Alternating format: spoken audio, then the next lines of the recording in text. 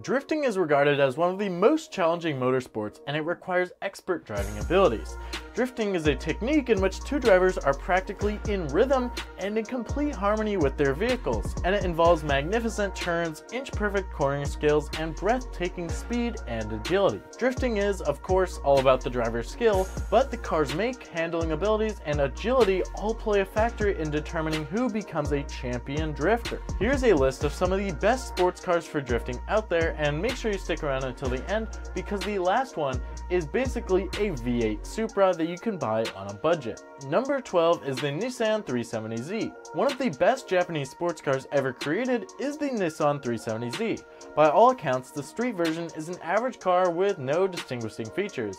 It comes with a V6 engine, and it produces 328 horsepower, but despite this, the car has won multiple Formula Drift championships with various drivers. So what's the secret? Well, the 370Z has a distinct advantage over other mainstream vehicles. It has a remarkable chassis balance that allows it to be fitted with nearly any type of engine and produce excellent drift results. The chassis of the car can handle the power of many engines, making it a highly sought after drift treasure. Number 11 is the E36 BMW M3. When it comes to car makers, few people can say no to German engineering, and this tiny drift-ready model is proof of that. This automobile defies time. It was released in the 1990s, yet thanks to its amazing drift DNA, it's still extremely relevant today.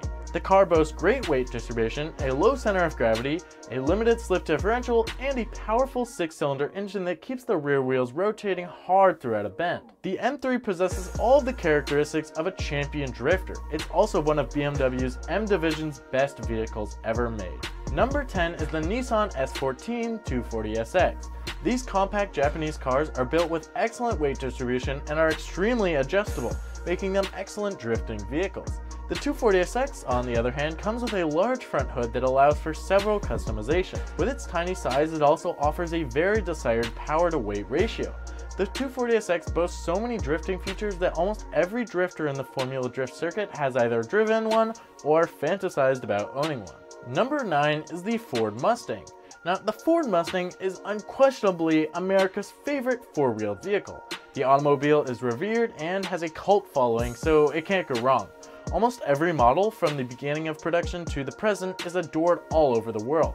This hysteria is backed up by excellent performance on virtually every track the Mustang visits. The Mustang's massive raw power quickly sets it apart from the competition as a drift car. You've got yourself a drift king when you combine raw power rear-wheel drive, manual transmission, and outstanding handling. Number 8 is the Mazda MX-5 Miata. Another Japanese vehicle on this list demonstrates Japan's proclivity for generating master drifters both drivers and machines. And this list wouldn't be complete without having a Miata on it. This time-defying vehicle is still quite valuable in basically all drift circles. Although it was first produced in 1989, it is still regularly used by many drifters in all major drift race contests. It's one of the most affordable sports cars on the used vehicle market, and it's also one of the most configurable. The MX-5 Miata is light and has a low center of gravity, which makes the ideal combination of qualities for a drift car.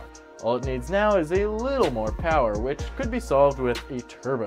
Number 7 is the Toyota Supra, and this is not a car that needs a turbo. The Toyota Supra, like many of the other cars on this list, appears to be timeless. The A80, or Mark IV, is the most sought after drift version and it was introduced in the 1990s, yet it still commands an extremely high price on the present market. The Supra's compact frame houses a huge turbocharged straight 6 engine, and this engine is a bit infamous actually, it's called the 2JZ, and stock it produces around 320 horsepower, but if you upgrade the turbo and some of the internals, you can make basically up to 2000 horsepower. As a result, the Supra's power to weight ratio can be quite high and given the car's rear-wheel drive and manual transmission, it's a safe bet to wager on this model whenever you see one at the drift track. Number 6 is the Chevrolet C6 Corvette. The Corvette is rapid, compact, powerful, and agile. The design of the Corvette C6 suggests that it may be quite a handful on the drift track.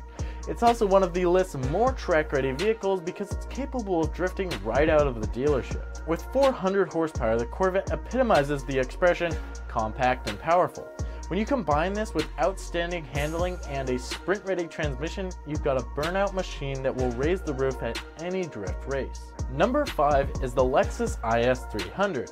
The Altezza, as it's known in racing circles in Japan, is perhaps the only car on this list with a lower power to weight ratio. The car, on the other hand, makes up for this shortcoming by being extremely configurable. Another benefit of the Lexus IS300 is that it's inexpensive and easily available, making it one of the easiest cars to convert and tune into a full-on drift car. It's bulky, yet it can be transformed into a fantastic drift machine, also featuring the same engine as the Supra just without a turbo. Number 4 is the Nissan Skyline. Nissan's reputation as a capable drift car has never been questioned. With three Nissan vehicles on the list, it's clear that the Nissan is built with a well-balanced chassis that is ideal for drift racing. The Skyline is equipped with a powerful turbocharged inline-six engine that produces 280 horsepower. This is in addition to its outstanding frame and customizable character. This car is a drift demigod with a celebrity status at the drift track due to its well-distributed weight and great handling qualities. Number 3 is the Mazda RX-7. The Mazda RX-7 is making a lot of noise in the racing world for a 1990s coupe. The RX-7's track prowess is almost legendary, and the current model of the vehicle is practically a premium brand that commands a massive price tag. At 5,000 RPM, the RX-7's twin-turbo rotary engine produces 237 horsepower and 218 pound-feet of torque. The RX-7 is a great choice for drifters because it's quite adaptable and has a large aftermarket parts selection. Number 2 is the Toyota AE86 Corolla. The AE86 deserves credit for helping to shape drifting into the sport it is today.